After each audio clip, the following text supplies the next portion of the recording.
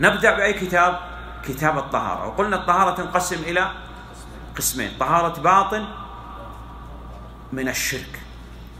وطهارة الظاهر الطهارة هنا تنقسم إلى قسمين.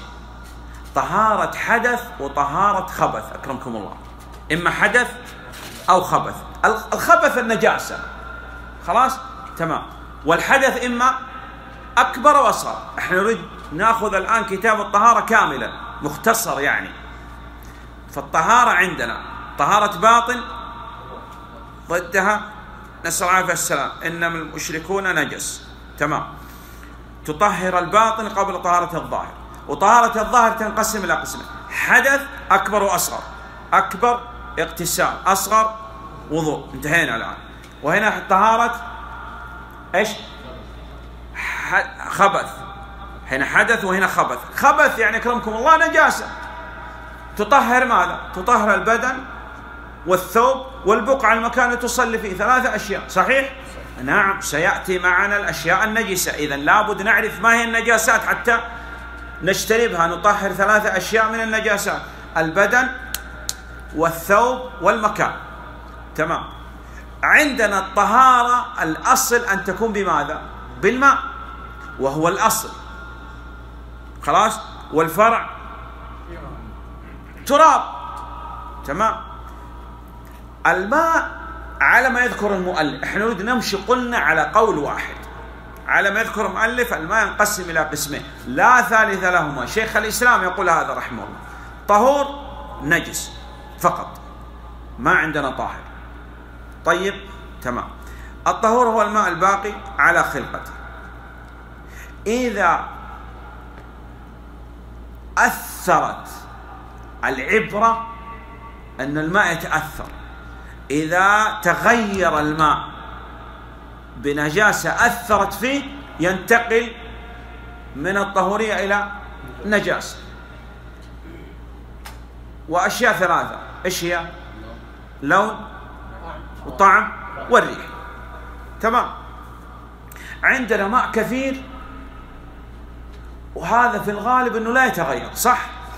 إذا نحن نتحرى في الماء القليل ما لا نتحرى في الماء كثير. لماذا؟ لأنه مظنه أنه يحمل الخبث يتغير.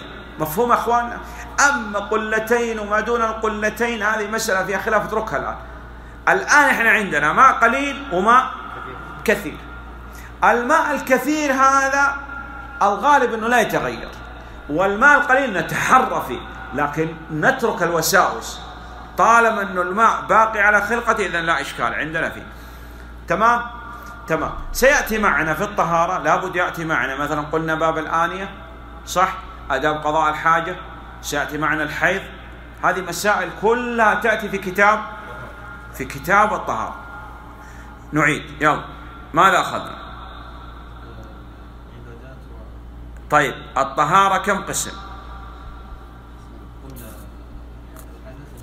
طهارة طهارة حدث طهارة باطن وطهارة ظاهر. طهارة الظاهر إما طهارة حدث أكبر وأصغر أو طهارة خبث الخبث النجاسة. لابد من اجتناب النجاسات. كل النجاسات تجتنبها صح أو لا؟ أي نعم. إخواننا والله تعرف لو تشرح كتاب الطهارة تشرح كتاب الطهارة غير المسلمين يسلموا والله من أسباب إسلام كثير من الكفار كتاب الطهارة. في مرأة في السويد عجوز أسلمت. سألوها لماذا أسلمت؟ قالت أنها كانت تعمل في مغسلة ملابس تغسل ملابس.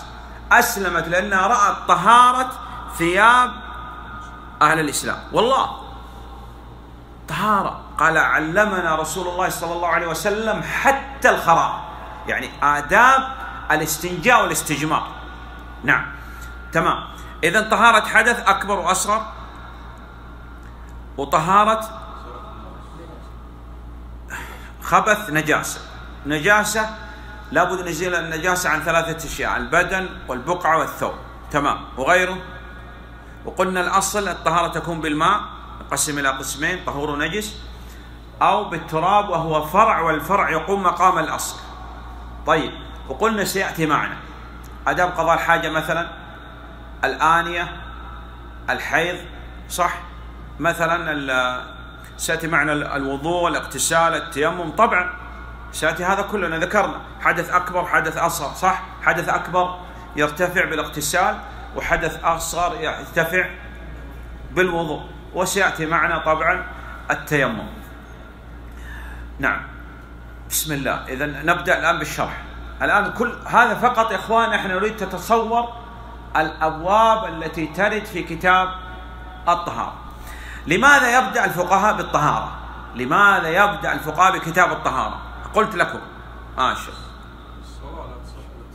لأن شرط من شروط الصلاة تتقدم على الصلاة ولا تصح إلا بطهارة أرادوا أن تطهر الباطن قبل طهارة الظاهر. لابد من التخلية قبل تحلية. الأخ يبغى يفرش المسجد. لابد أول شيء ينظف المسجد. ينظف أول بعدين. يضع السجاد مثلا. صح؟ تمام. آه وقلنا أنه عادة الفقهاء أنه يرتب الفقه على الأشياء اللي تريدها أنت. أنت تريد أول شيء تصلي وتتطهر.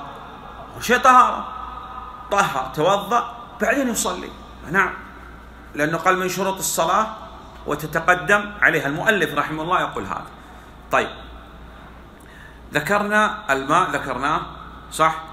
طهور ونجس. والماء الباقي على خلقته الذي لم يتغير.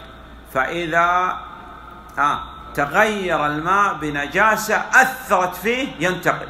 وقلنا إذا اختلفنا في ماء. هل هو طهور أو نجس؟ الأصل إيش؟ الطهارة تمام. إناء اختلفنا فيه. هل هو نجس أو لا؟ في الأصل الطهارة. اختلفنا هو حلال أو حرام؟ فالأصل حل. أي نعم.